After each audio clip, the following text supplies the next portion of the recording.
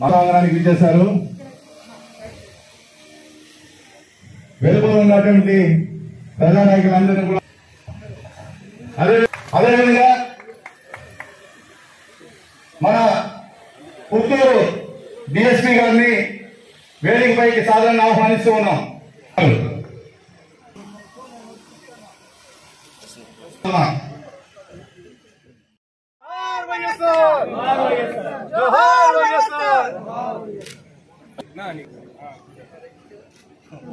Madam. ఎక్కడ చూడండి madam?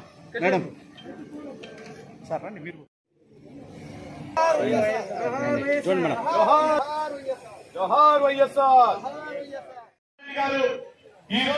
అలాగే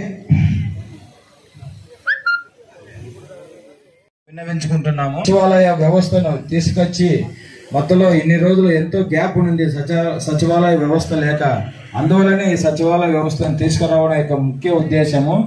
ఇంతకుముందు ప్రభుత్వ శాఖలలో వివిధ కారణాల వల్ల వాళ్ళకు జాప్యం జరుగుతూ ఉన్నది అటువంటి జాప్యం వాళ్ళకు కలగకూడదని అనే ఉద్దేశంతోనే సచివాలయ వ్యవస్థ తీసుకురావడం అనేది కనుక మీరు ఉంటుంది వాళ్ళ యొక్క ఆనందము మీకు కూడా ఆనందాన్ని ఇస్తుంది. ఇది నగిరి ప్రజలందరి తరఫున పుత్తూరు సిఐ మల్లికార్జున రెడ్డి గారు చూడండి చూడండి మేడం అందరి తరఫున మేడం గారు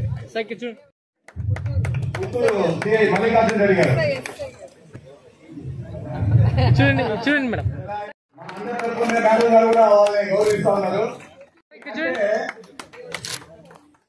నగర నియోజకవర్గం. చూడండి. గుర్తుపెట్టుకోవాలి ఈ రాష్ట్రంలోనే